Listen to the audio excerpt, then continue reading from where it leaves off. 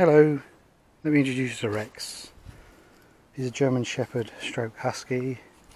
He's seven months old, almost eight. And I got him from the Dogs Trust, Basildon, about two weeks ago.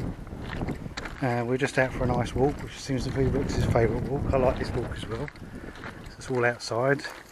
It's only about three minutes away from where I live, so we have all this field here. If you go all the way down there, there is uh, the sea so it's a bit too far from the walk yet, but one day we'll go down there. I guess a little bit of history on Rex. Um, he was abandoned at 10 weeks.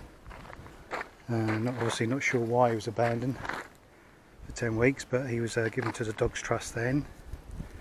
And then a family had him, I believe, uh, for a couple of months, and that didn't work out, so he was given back to the Dog Trust. So I'm his third owner, and he seems to like it here, and I like him very much. Obviously he's, uh, he's very young, he's full of energy. Aren't you mate? He's a bit of a hoover at the moment, so he picks everything up. Uh, when I got him, uh, the Dogs Trust people had taught him some uh, some basic commands. And we're working on that, aren't we Rex? Hey Rex, we're working on that, aren't we?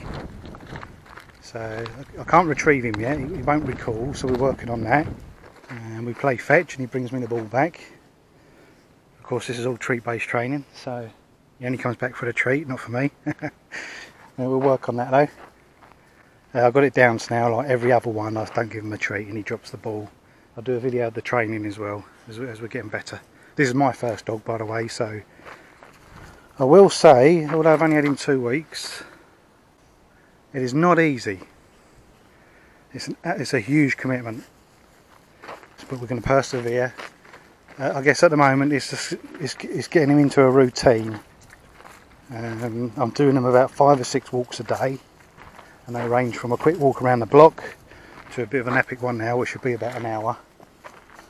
And I went to the local vets here and asked, you know, asked questions about his fitness and they told me that uh, it's the hips that they have problems with later on in life so don't overdo it. Uh, if you play ball make sure you do underarm. Uh, give him as much hill exercise or make him walk through the sand or swimming just to build his back hip muscles up so he doesn't have a problem later. So Rex has spotted something here. Um, I'm not sure what he's looking at. I can't really see anything out there. He's definitely spotted something. No. Can't even shove water down his mouth, look. Rex, have some water. No, not interested. I like the little adventures he has as he's walking. He'll walk like this and then all of a sudden he'll dive into the grass when he's seen something. He's an expert butterfly catcher. He's had a couple of those in his mouth so far. He up, hasn't upgraded to bees yet, but I'm sure that's going to happen eventually. There's loads of them around here. What's this? You can see he's got um, two coloured eyes, and he's definitely got a husky tail. So I actually wanted to go down there today, but um, Rex didn't want to. Uh, we got to about there, and he didn't want to go any further, so we turned around. The when we went there yesterday, there was um, he got a bit spooked over in that little tree there by some uh, partridges. So I just wonder if he's a bit nervous going there, and that's all. So we're walking back now, aren't we, Rex? We're walking back. We're gonna have some lunch. Just gonna try and get him in the dry mud here. It's good for his feet. Here you go. Build your muscles up, eh, Rex? Obviously, I'll have to walk all the way down there. I don't know if you can see it from here, but um, you can actually see the you know you can actually get down to the sea there. You know, there's a bit of a doggy beach down there.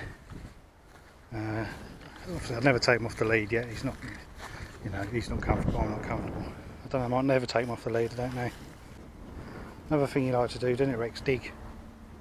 At least it's not the carpets eh mate? Come on. Oh Rex Good boy, Rex. Even I forget to do that sometimes. Any acorns? Go on, give you upset stomach.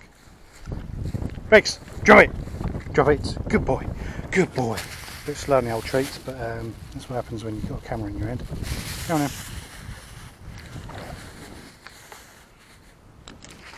Problem is all those treats smell of vanilla, don't they? For the old poop bag. Wait! Stop beating the acorns. Oi, drop it. Rex. Here you go. Hey, good boy.